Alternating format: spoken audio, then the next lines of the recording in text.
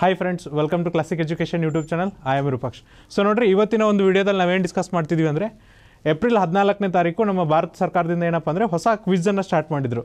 So ಯಾರ ಜಯಂತಿ ದಿನ start ಮಾಡಿದ್ರು ಅಂದರೆ ಸೊ ನೋಡ್ರಿ ಏಪ್ರಿಲ್ ಹದಿನಾಲ್ಕು ಯಾರ ಜಯಂತಿ ಬರುತ್ತಪ್ಪ ಅಂದರೆ, ಅಂಬೇಡ್ಕರ್ ಅವರ ಜಯಂತಿ ಬರುತ್ತೆ. ಸೊ ಅಂಬೇಡ್ಕರ್ ಅವರ ಜಯಂತಿ ಬರುತ್ತೆ. ಸೊ ಅಂಬೇಡ್ಕರ್ ಅವರ ಜಯಂತಿ ದಿನ ಏನು ಮಾಡಿದ್ರು ಅಂದರೆ, ನಮ್ಮ ಭಾರತ ಸರ್ಕಾರ ಹೊಸ ಕ್ವಿಜನ್ನು ಸ್ಟಾರ್ಟ್ ಮಾಡಿದರು. ಆ ಕ್ವಿಜ್ ಹೆಸರು ಏನಪ್ಪ ಅಂದರೆ ಸಬ್ಕಾ ವಿಕಾಸ್ ಮಹಾ ಕ್ವಿಜ್ ಅಂತ.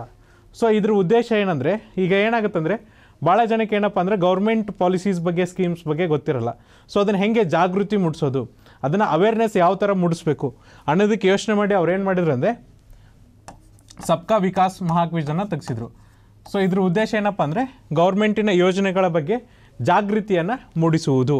ಸೊ ನೋಡ್ರಿ, ಈ ಕ್ವಿಜ್ ಇದೆಯಲ್ಲ, ಇದನ್ನು ಯಾರು ಲಾಂಚ್ ಮಾಡಿದ್ರಪ್ಪ ಅಂತ ಕೇಳಿದರೆ ministry of electronics and information technology so ಯಾರು ಲಾಂಚ್ ಮಾಡಿದ್ರು ಅಂದ್ರೆ ಇದು? Electronics and information technology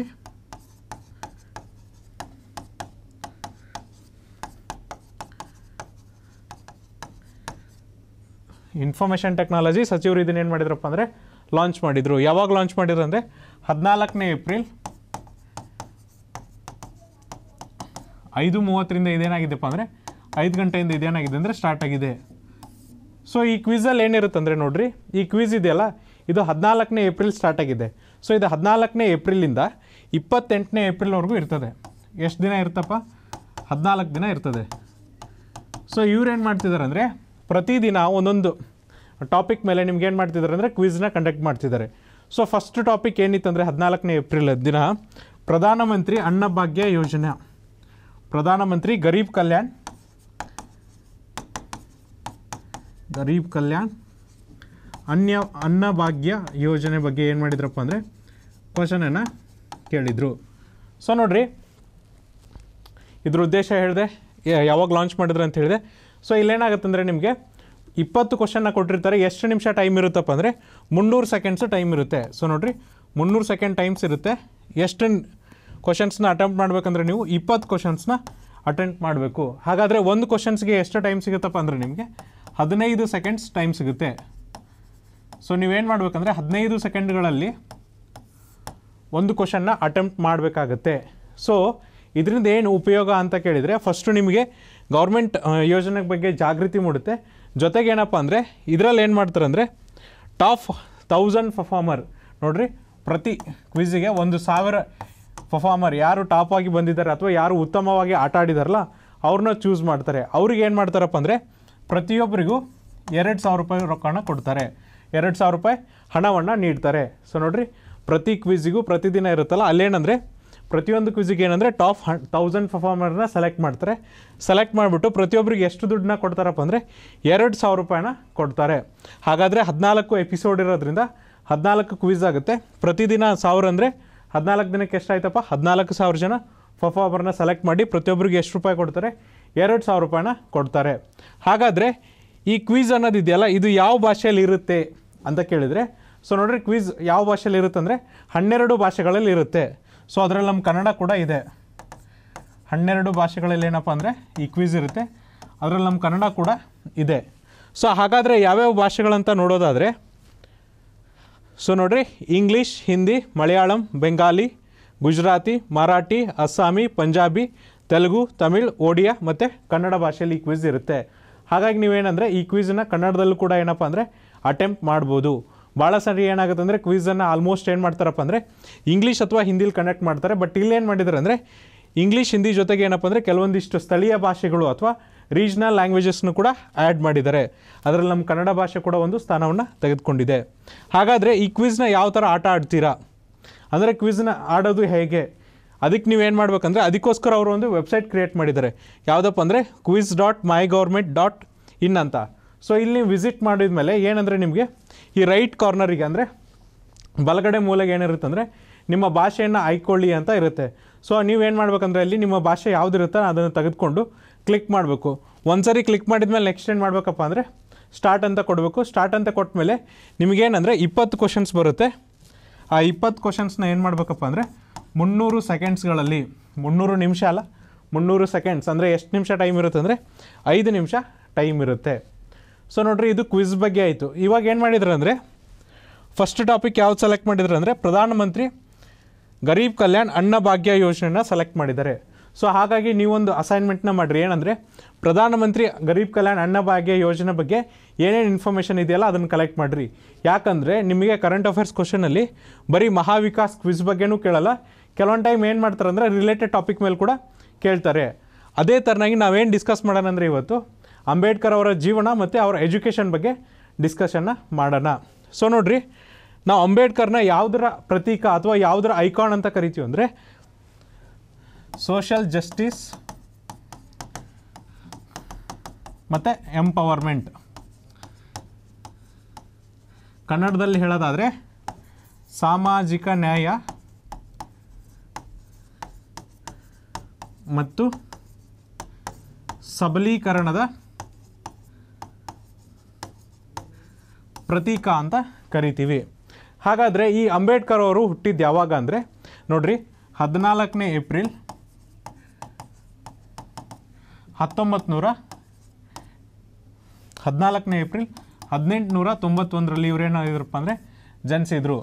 so ಹಾಗಾದರೆ ಎಲ್ಲಿ ಜನಿಸಿದ್ರು ಅಂದರೆ ಮೊಹರ್ ಅನ್ನೋ ಒಂದು ಶಹರದಲ್ಲಿ ಜನಿಸಿದರು. ಸೊ ಇದು ಎಲ್ಲಿ ಬರುತ್ತಪ್ಪ ಅಂದರೆ ಮಧ್ಯಪ್ರದೇಶದಲ್ಲಿ ಬರುತ್ತೆ. ಇವ್ರ ತಂದೆಯವರು ಯಾರಪ್ಪ ಅಂದರೆ ರಾಮಾಜಿ. ಇವ್ರ ತಂದೆ ಯಾರಂದರೆ ರಾಮ್ಜಿ. ಇವ್ರ ತಾಯಿ ಯಾರಂದರೆ ಭೀಮಾಬಾಯಿ. ಸೊ ನೋಡ್ರಿ, ಇವರು ಹದಿನಾಲ್ಕನೇ ಏಪ್ರಿಲ್ ಹದಿನೆಂಟುನೂರ ತೊಂಬತ್ತೊಂದರಂದು ಜನಿಸಿದ್ರು ಮೊಹರ್ ಅನ್ನೋ ಒಂದು ಪಟ್ಟಣದಲ್ಲಿ. ಸೊ ಇದೇನು ಇಲ್ಲಿ ಏನು ಇತ್ತಪ್ಪ ಅಂದರೆ, ಇಲ್ಲಿ ಆರ್ಮಿ ಕಂಟೋನ್ಮೆಂಟ್ ಇತ್ತು. ಸೊ ಇವ್ರ ತಂದೆ ಏನು ಮಾಡ್ತಿದ್ರು ಅಂದರೆ, ಭಾರತೀಯ ಸೇನೆಯಲ್ಲಿ ಕೆಲಸ ಮಾಡ್ತಿದ್ರು. ಅಂದರೆ, ಆಗಿನ ಬ್ರಿಟಿಷ್ ಕಾಲದ ಭಾರತೀಯ ಸೇನೆಯಲ್ಲಿ ಕೆಲಸ ಮಾಡ್ತಿದ್ರು. ಹಾಗಾಗಿ ಅವ್ರಿಗೆ ಏನಂದರೆ, ಕಂಟೋನ್ಮೆಂಟ್ ಏರಿಯಾದಲ್ಲಿ ಒಂದು ಅಪಾರ್ಟ್ಮೆಂಟ್ನ ಕೊಟ್ಟಿದ್ರು. ಅಲ್ಲಿ ಇವ್ರು ಏನಪ್ಪ ಅಂದರೆ, ಜೀವಿಸ್ತಿದ್ರು. ಇವರು ಇವ್ರ ತಂದೆಗೆ ಹದಿನಾಲ್ಕನೇ ಮಗನಾಗಿ ಜನಿಸ್ತಾರೆ. ಜೊತೆಗೆ ನೋಡ್ರಿ, ಇವ್ರೇನು ಜನಿಸಿದ್ರಲ್ಲ ಹದಿನೆಂಟುನೂರ ತೊಂಬತ್ತೊಂದರಲ್ಲಿ ಇವ್ರಿಗೆ ಸ್ಕೂಲಿಗೆ ಸೇರಿಸ್ಬೇಕು. ಯಾವಾಗ ಸ್ಕೂಲಿಗೆ ಸೇರಿಸ್ತಾರಪ್ಪ ಅಂದರೆ? ಹದಿನೆಂಟುನೂರ ತೊಂಬತ್ತಾರಲ್ಲಿ ಸ್ಕೂಲಿಗೆ ಸೇರಿಸ್ತಾರೆ. ಯಾವ ಸ್ಕೂಲ್ ಅಂದರೆ? ಎಲ್ಫೈನ್ ಸ್ಟೋನ್ ಅಂತೇಳಿ. ಸೊ ಎಲ್ಫೈನ್ ಸ್ಟೋನ್ ಸ್ಕೂಲಿಗೆ ಸೇರಿಸ್ತಾರೆ. ಸೊ ಈ ಸ್ಕೂಲಿಗೆ ಸೇರಿದ ಮೇಲೆ ಅವ್ರು ಏನು ಮಾಡ್ತಾರೆ ಅಂದರೆ ಹದಿನೈದನೇ ವರ್ಷಕ್ಕೆ ತಮ್ಮ ಮ್ಯಾಟ್ರಿಕ್ಯುಲೇಷನ್ನ ಪಾಸ್ ಮಾಡ್ತಾರೆ. ಸೊ ಇಲ್ಲಿ ಅವ್ರಿಗೆ ಏನಾಗುತ್ತಪ್ಪ ಅಂದರೆ ಜಾತಿ ವಿವಾದಗಳು ಬರುತ್ತೆ. ಯಾಕಂದರೆ ಇವರು ಇರೋ ಜಾತಿ ಏನಪ್ಪ ಅಂದರೆ ಭಾಳ ಕೆಳಮಟ್ಟದಿರುತ್ತೆ. ಅವ್ರ ಸ್ಕೂಲಲ್ಲಿ ಏನು ಮಾಡ್ತಿರ್ತಾರೆ ಅಂದರೆ ಇವರು ತಮಗೋಸ್ಕರ ಒಂದು ಗೋಣಿ ಚೀಲನ ತೊಗೊಂಡು ಹೋಗಬೇಕು. ಜೊತೆಗೆ ಏನು ಮಾಡ್ಬೇಕಂದ್ರೆ ಇವ್ರು ಕೆಲವೊಂದು ಟೈಮು ನೀರು ಕುಡಿಯೋದಕ್ಕೂ ಕೂಡ ಕಷ್ಟಪಡ್ತಿದ್ರು. ಯಾವ ಥರ ಕಷ್ಟಪಡ್ತಿದ್ರು ಅಂದರೆ ಅಲ್ಲಿ ಬಾವಿ ಇರ್ತಿತ್ತು, ಬಾವಿಯಿಂದ ನೀರು ಸೇದಿ ಇವ್ರು ಕುಡಿಯೋಂಗಿರ್ತಿದ್ದಿಲ್ಲ. ಏನು ಮಾಡಬೇಕು? ಯಾರಾದರೂ ಹೈಯರ್ ಕಾಸ್ಟ್ ಪೀಪಲ್ ಇರ್ತಾರಲ್ಲ, ಮೇಲ್ಜಾತಿ ವರ್ಗದವರು ಅವ್ರು ಏನು ಮಾಡ್ಬೇಕಂದ್ರೆ ನೀರು ಸೇದಿ ಹಾಕಬೇಕು. ಮೇಲ್ಗಡೆಯಿಂದ ನೀರು ಹಾಕಬೇಕು, ಅವಾಗ ಇವ್ರು ಕುಡಿತಿದ್ರು. ಕೆಲವೊಂದು ಟೈಮ್ ಈ ಕೆಲಸನ ಯಾರು ಮಾಡ್ತಿದ್ರಪ್ಪ ಅಂದರೆ ಪ್ಯೂನ್ ಮಾಡ್ತಿದ್ರು. ಸೊ ಹಾಗಾಗಿ ಇವ್ರೇನು ಮಾಡ್ತಿದ್ರು ಅಂದರೆ ತಮಗೆ ನೀರಡಿಕೆ ಆದಾಗ ಪ್ಯೂನ್ ಕರ್ಕೊಂಬಂದು ನೀರನ್ನು ಕುಡಿತಿದ್ರು.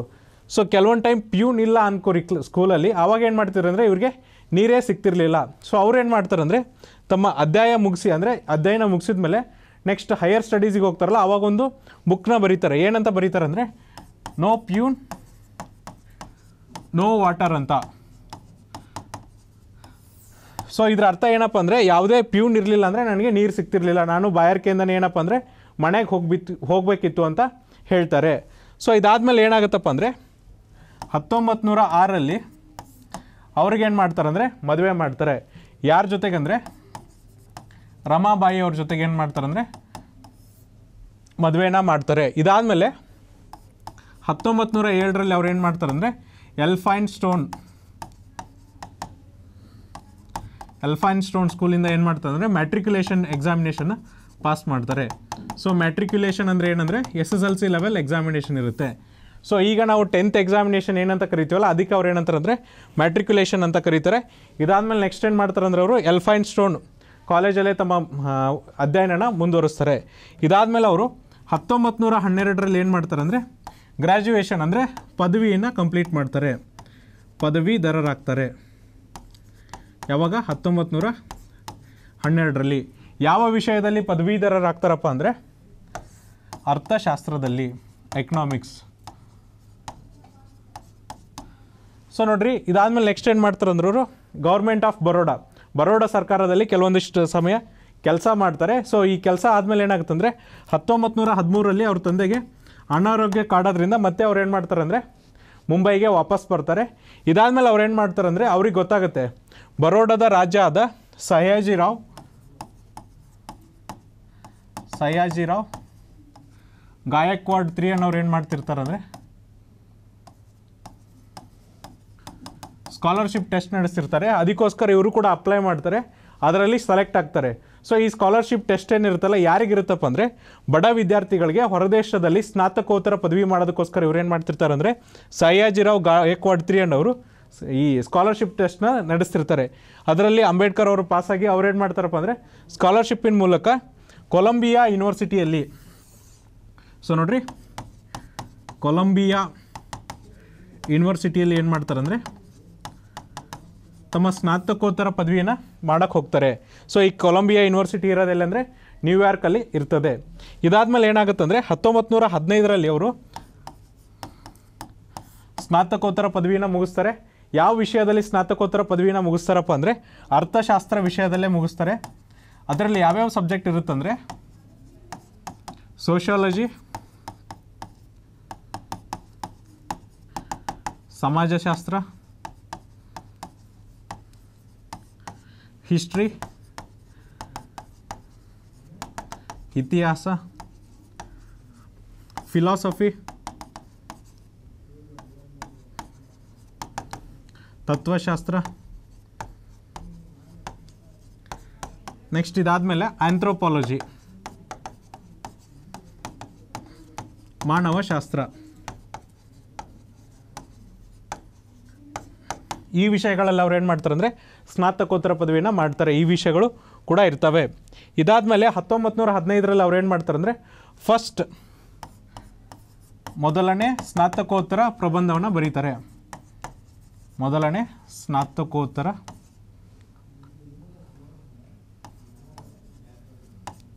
ಪ್ರಬಂಧ. ಇದರ ಹೆಸರು ಏನಿರುತ್ತಪ್ಪ ಅಂದರೆ ಏನ್ಷಿಯಂಟ್ ಇಂಡಿಯನ್ ಕಾಮರ್ಸ್ ಅಂತ ಇರುತ್ತೆ. ಸೊ ಏನ್ಷಿಯಂಟ್ ಇಂಡಿಯನ್ ಕ್ರಾಮರ್ಸ್ ಅಂದರೆ ಪ್ರಾಚೀನ ಭಾರತದ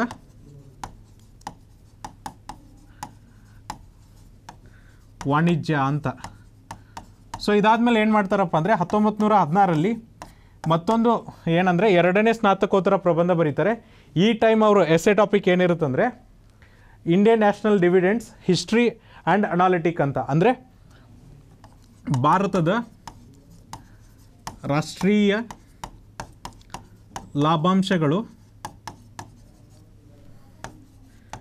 ಐತಿಹಾಸಿಕ ಮತ್ತು ವಿಶ್ಲೇಷಣಾತ್ಮಕ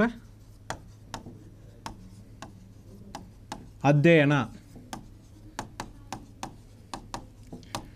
ಸೊ ಇದೇ ವರ್ಷ ಅವ್ರೇನಪ್ಪ ಅಂದರೆ ಮೇ ಒಂಬತ್ತರಂದು ಇನ್ನೊಂದು ಪ್ರಬಂಧ ಅಥವಾ ಪೇಪರನ್ನು ರಿಲೀಸ್ ಮಾಡ್ತಾರೆ. ಅದ್ರ ಹೆಸರು ಏನಿರುತ್ತೆ ಅಂದರೆ casteism in India, or caste in India castes in India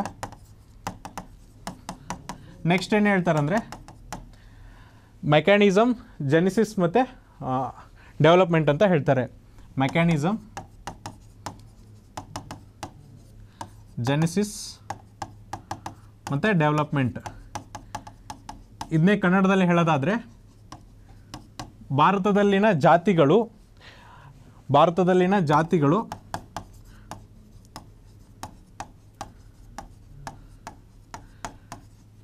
next genesis ಅಂದರೆ ಏನಪ್ಪ ಅಂದರೆ ಉದಯ ಮೆಕ್ಯಾನಿಸಮ್ ಅಂದರೆ ಕಾರ್ಯವಿಧಾನ, ಇದಾದಮೇಲೆ ಡೆವಲಪ್ಮೆಂಟ್ ಅಂದರೆ ಏನಪ್ಪ ಅಂದರೆ ಅಭಿವೃದ್ಧಿ. ಸೊ ಅವ್ರ ಪೇಪರ್ ಏನಿರುತ್ತೆ ಅಂದರೆ ಯಾವುದ್ರ ಬಗ್ಗೆ ಇರುತ್ತೆ ಅಂದರೆ ಭಾರತದಲ್ಲಿ ಯಾವ ಥರ ಜಾತಿಗಳು ಜಾತಿಗಳು ಹುಟ್ಕೊಂಡು ಅವುಗಳು ಯಾವ ಥರ ಕಾರ್ಯವಿಧಾನ ನಡೆಸ್ತಿದೆ ಮತ್ತು ಅವುಗಳ ಅಭಿವೃದ್ಧಿ ಹೇಗೆ ಹೊಂದಿದೆ ಅನ್ನೋದ್ರ ಬಗ್ಗೆ ಅವ್ರು ಏನಂದರೆ ಒಂದು ಪೇಪರ್ನ ಪ್ರೆಸೆಂಟ್ ಮಾಡ್ತಾರೆ. ಯಾವಾಗಂದರೆ ಹತ್ತೊಂಬತ್ತು ನೂರ ಹದಿನಾರು ಮೇ ಒಂಬತ್ತನೇ ತಾರೀಕು ಸೊ ಇದಾದಮೇಲೆ ನೆಕ್ಸ್ಟ್ ಏನು ಮಾಡ್ತಾರಪ್ಪ ಅಂದರೆ ಹತ್ತೊಂಬತ್ತು ನೂರ ಇಪ್ಪತ್ತೇಳರಲ್ಲಿ ಅವ್ರಿಗೆ ಏನಂದರೆ ಪಿ ಎಚ್ ಡಿನ ಪ್ರದಾನ ಮಾಡ್ತಾರೆ. ಸೊ ನೋಡಿರಿ ಯಾವ ವರ್ಷ ಅವರಿಗೆ ಡಾಕ್ಟ್ರೇಟ್ ಬರುತ್ತಂದರೆ ಹತ್ತೊಂಬತ್ತು ನೂರ ಇಪ್ಪತ್ತೇಳರಲ್ಲಿ ಬರ್ತದೆ.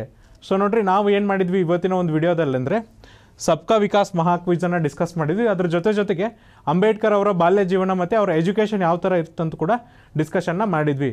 ನೆಕ್ಸ್ಟ್ ವಿಡಿಯೋದಲ್ಲಿ ಏನು ಮಾಡೋಣ ಅಂದರೆ ಇನ್ನೊಂದು ಟಾಪಿಕ್ನ ಡಿಸ್ಕಷನ್ ಮಾಡೋಣ. ಅಲ್ಲಿವರೆಗೂ ನೋಡ್ತಾರೆ classic education YouTube channel thank you thank you